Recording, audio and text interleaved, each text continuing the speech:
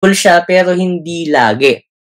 Kung titignan nyo, no, yung tatlong repair, isipin mo sa limang ATM na meron ka, tatlo na sira. Anong probability na mangyari yon? That is 0.03.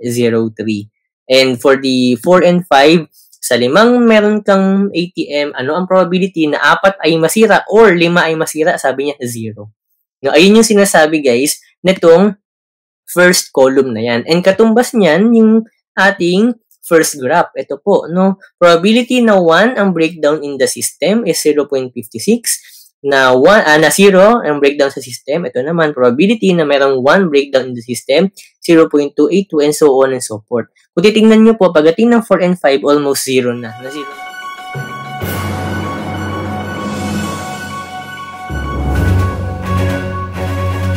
Yes, hello everyone. Welcome to our presentation regarding the queuing theory MM1 model with finite source application to the POM-QM software or the POMCOM software. And I'm glad to tell you guys that this is our last presentation under the topic queuing theory. Okay? After po nito, our last topic na for the whole OR2 will be the Markov analysis. Okay, so let's start our discussion regarding the application of the model number 4 of the queuing theory, MM1 with finite source in the POM-QM software. So, model number 4, MM1 with finite source. MM1 notation represents, for the arrival distribution, guys, we have here the Poisson distribution, letter M. The second M stands for the service time distribution, which is exponential. For the number of service channels open, we have here 1. And an additional assumption is that the population size is finite. No? Uh, we have a specific number lang ng population na pwedeng magpabalik-balik sa ating server. Okay? So that is the condition for the model number 4. And let's have here our example problem. So Citibank number 7 na ito, no, magkakadugtong po kasi yung mga problems natin for the queuing theory. So we have here Angie, the branch manager of Citibank, and she wants to improve the service of the bank's five existing ATMs. This is the reason guys why we have this finite population. Dahil ang population po natin dito is yung bilang ng ATM. No, hindi mismong client, hindi mismong tao but rather yung bilang ng ATM na i-repair ng technician if ever na masira yun. Okay, that is the finite population 5. And she observed that on the average, an ATM breaks down every 100 hours and takes 10 hours to repair by the bank's loan technician. The figures are summarized in the next slide. What is the breakdown rate of an ATM? What is the service rate of the technician? What is the probability that there are no repairs going on? How many ATMs are at the technician's schedule at any given time? How much time does an ATM spend waiting to be repaired? How much time does an ATM spend at the technician's schedule? What is the effective breakdown rate? And lastly, what is the probability that the technician is BC. So we have a lot of questions here that needs to be answered. So let's start our solution. For the given data, no, it is all stated naman sa problem and nilagay ko lang ito in table form. So for the letter M, that is the number of technicians that we have. That is 1. No, ito yung MM1, yung 1 sa dulo dahil kung maalala ninyo, no, it is also represented as small letter M, yung number of server. But since specific tayo sa 1, so MM1 na siya just like anja, uh, unlike the model number 2 na MMM dahil pwede natin gawin yon na 2 servers, 3 servers, 4 servers, and etc. Okay, anyway, the number of servers is still represented by the small letter M. Okay, so letter N, big letter N is the number of ATMs or this is the population size which is 5. For the letter X, this is hours of use per breakdown which is 100 ibig sabihin po, no, 100 hours mong ginagamit si ATM doon sa bank before siya masira, before siya magkaroon ng breakdown. On the average, ito. And the last given, we have the letter Y, which is the repair hours per breakdown. Gaano katagal ni-repair ang isang ATM once na masira siya? Answer is 10 hours. Okay, now, for us to be able to have the actually answer na ito eh no answer na ito ng ating manual computation and let's try to find out if same ba tayo na mga kuha if we will going to use the POMQM software. So here's the answer. Breakdowns per hour is 0.01. ATMs repaired per hour is 0.1. This is divide lang naman ito no, sa 0.100 and the 0.10 natin. Probability that the that there's no repair is 0.564. Average ATM waiting for repair 0.2. Number of ATMs in the whole system including the server which is yung server natin po dito is yung moment na nagre-repair si technician. No? Kasi ang nagbibigay ng service is si technician, not the ATM. No, wag kayo malilito doon. Then, ganyan talaga sa queuing systems. Minsan, yung client nagiging server, minsan si server nagiging client. Okay? So, that is Average uh, number of ATMs in the system 0.6. Average waiting hours per ATM is 4.6789. Average hours ATM spends in the whole system is 14.6789. Effective breakdown rate is 0.4. Probability that the technician is busy is 0.4. 46. Now, with regards to the costing, we have here the given cost. We have $5 per hour service cost per technician. This is the labor cost of the technician per hour, no? Uh, represented by C sub S. C sub W naman is the cost of downtime, which is $60 per hour. Ito yung cost kapag may nasisirang ATM. Kada oras na lumilipas, ano yung nawawala sa kumpanya? No, $60 yon dahil lang sa ATM na sira. Okay. and the working hours per shift is $8. Now, as you can see guys, based on our manual computation before on the previous uh, presentation, on the previous topic, we have computed there that the total cost is 43.4 per hour and that is uh, connected with the total cost per shift which is 347.2. 10 times 8 lang naman yan. Okay? Uh, for now, let's go to our POMCOM software. Let's in uh, let's try to input all of this data and check natin if magiging pareho ba yung sagot natin. And of course, may mga additional knowledge din tayong kuha using the software because on the software, binibigay niya yung graph ng queuing system natin. Okay, so let's go to our POMQM software now.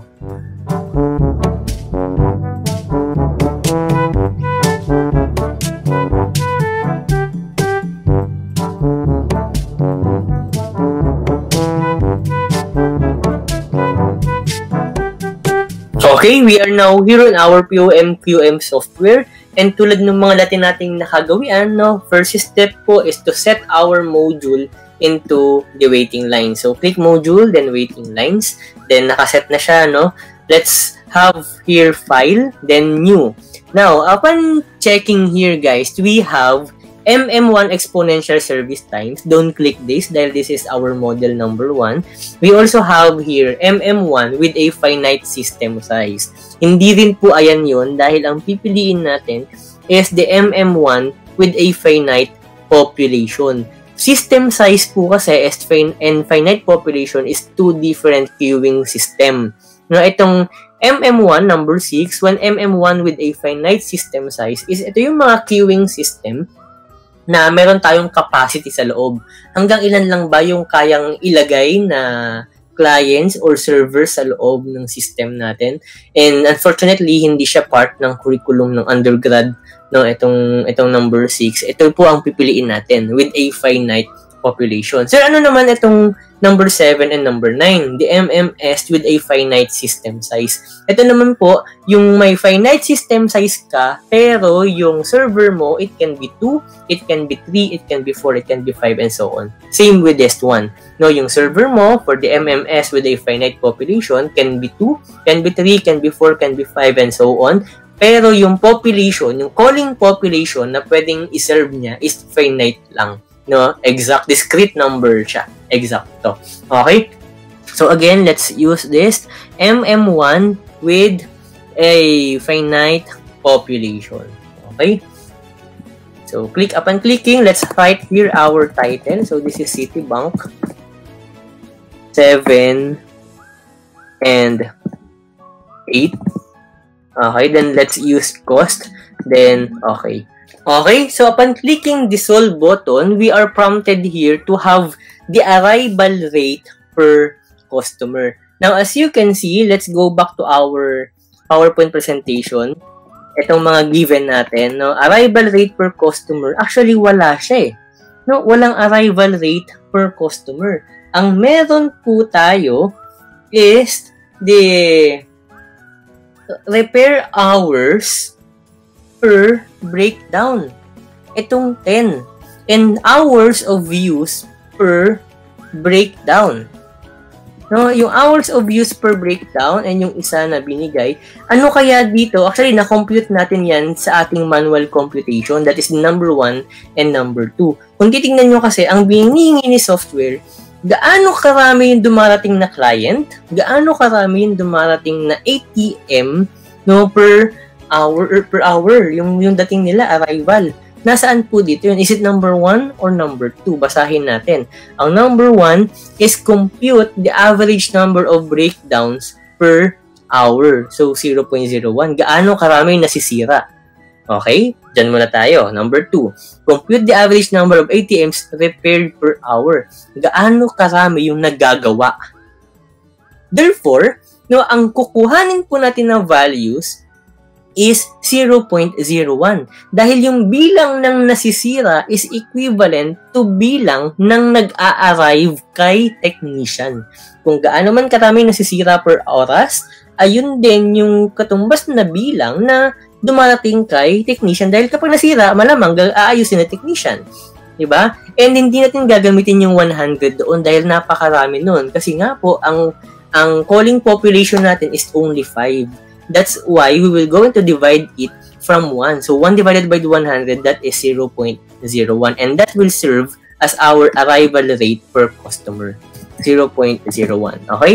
Guys, don't get confused. Ganyan talaga ang tao dito. Ganyan talaga sa model number 4. And as you can see, 0.01, ayan, no, pangatlong beses ko na siya itatype, nag-zero siya, nag-automatic. Dahil almost zero na rin kasi yung ano niya eh, yung value niya.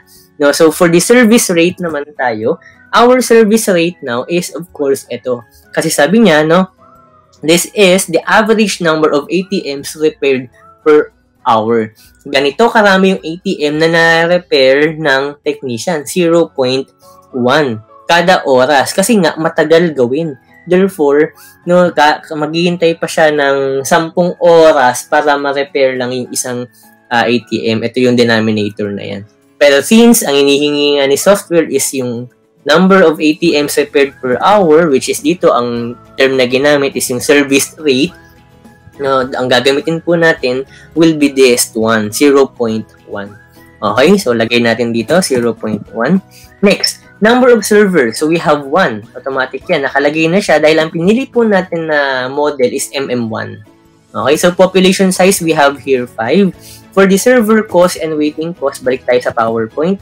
Ano yung binigay na server and waiting cost? Here we have 5 service cost per technician and the cost of downtime or ito yung waiting cost kapag nasisira ang ATM no pagkano ang katumbas kada oras na nawawala sa kumpanya? That is 60 so let's write there 5 and 60 so 5 and 60 then click solve Okay? So, upon clicking solve, guys, we have here our final answers. As you can see, oh, ayan, oh, uh, average server utilization.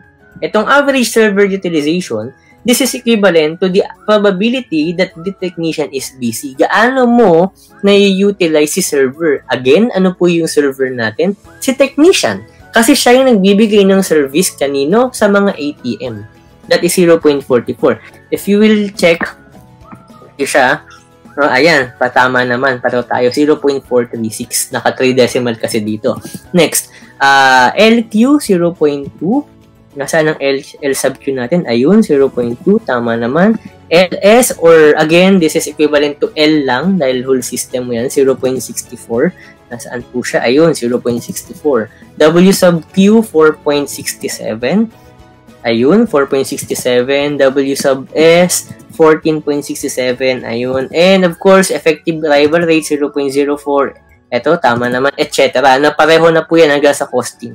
Uh, ah, 43.37 costing na nahanap natin. Now, Bukod kasi dito guys, this is just for checking if you if your manual computation is correct. No, ayun talaga yung reason niya. And of course, kung alam niyo na i-manual, kung gusto niyo medyo advanced na kayo, diretso niyo ng POMCOM. Then more on analyzation na lang yung gagawin niyo dito. Ah, ganito pala yung LQ, ganito yung LS niya, ito yung WQQ, ito yung WS, and anong gagawin ko? what is my decision given the fact na ito na yung mga numbers. No? So, what I'm trying to say is kung paano nyo magagamit ng efficiency POMCOM without having the manual computation. And that is the goal din naman talaga ng mga softwares. Uh, anyway, no, bukod dyan, meron pa tayong mga result dito. Si table of probabilities. So, itong table of probabilities, ito po kung titingnan nyo dito, we have here uh, K0, K1, K2, K3, K4, K5. Ano po ito? No, ito, guys, yung na numbers na pwede tayong pwedeng magkaroon ng breakdown. Bakit, bakit, bakit hanggang 5 lang? Dahil nga, ang population natin is only hanggang 5 lang din. No finite population tayo. Ano daw yung probability na ka, na zero ang magiging breakdown natin. Gaano kalaki? Sabi niya dito, 0.56. Nasaan po yun? Probability that there is no repair, P sub 0, 0.56. Ibig sabihin, tama tayo. No, ayun siya. And, ano daw yung probability na meron tayong isang repair, 0.28. Hindi natin ito sinolve sa manual, no? hindi natin siya sinolve. Pero ayun yung katumbas niya. Ano naman yung probability na dalawa yung repair, 0.11. Kung titingnan ninyo, paliit ng paliit yung probabilities. Kapag dumarami ng dumarami yung uh, repair. Dahil bihira naman kasi mangyari yon no? Impossible siya pero hindi lagi. Kung titignan nyo, no, yung tatlong repair, isipin mo sa limang ATM na meron ka, tatlo na sira. Anong probability na mangyari yon? That is 0.03. And for the 4 and 5, sa limang meron kang ATM, ano ang probability na apat ay masira or lima ay masira? Sabi niya, zero. No, ayun yung sinasabi guys, netong first column na yan. And katumbas niyan, yung ating first graph. Ito po, no? Probability na 1 ang breakdown in the system is 0.56 na 1 uh, na 0 ang breakdown sa system. Ito naman probability na merong 1 breakdown in the system, 0.282 and so on and so forth. Kung titingnan niyo po pagdating ng 4 and 5 almost 0 na. Na 0 na talaga siya. Ayun yung sinasabi ng ating first column. For the second column, ito naman, yung probability na yung number in the system is less than or equals to k. Since ang k natin sa ating first row is 0, therefore, ang tinutukoy niya is yung negative 1, negative 2 less than eh, no? Negative 3. And there's no such thing as negative number of ATM. Wala naman ganun. It's, it is either 0, walang breakdown, or may isang sira, may dalawang sira, pero walang negative na sira. Kaya kung titingnan nyo po, pareho na 0.56 yung probabilities na meron tayo dito. And, i-minus mo siya sa 1, ayun naman yung binabanggit nitong third, or rather, ng fourth column natin, which is the probability that the number in system is greater than the k, which is ang k natin is 0. Ganon din yung interpretation dito. No? Check natin. Number 2 tayo. Laktawan natin number 1. Ano daw yung probability na yung number in the system is less than or equals to k? Ano yung k2? Ano yung uh, number in the system? Of course, 1 and 0. Gaano kalaki yung probability na magkaroon tayo ng sira na 0 and 1. Again po, this is Poisson distribution, no? Uh, ah, 0.96 ang sagot doon. And para mag-total siya ng 1, katumbas niya naman itong 0.04. Okay? For 3, 4, and 5, 1, 1, 1 dito, 0, 0, 0 dito. Dahil 1 plus 0 is equals to 1.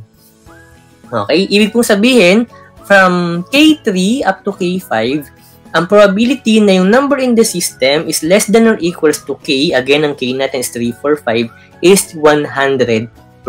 So, may 100% chance na ang maging sira natin is 2, 1, or 0. Okay? Pero may, may maliit na probability na mangyari is tatlo ang sira. Pero sobrang liit no, 0.03 lang. Wala nang probability na masira ang apat ng sabay-sabay and of course yung lima. Ayan yung katumbas ng second graph natin. Itong cumulative probabilities titignan nyo pataas dahil nga cumulative po ito. Kung ano yung binanggit na probability dito, 0.564, ayan yung umpisa dito. Then kung ano yung probability niya dito, 0.564 plus 0.282, i-add mo yan, that will be the probability dito na 1 in the system. 0.8459. Then 0.8459, i-add mo naman tong 0.1128, ito naman po yan, 9587, and so on and so forth. That's why tinawag siyang cumulative. Pero ang basis niyan is ito pa rin, yung graph pa rin na to.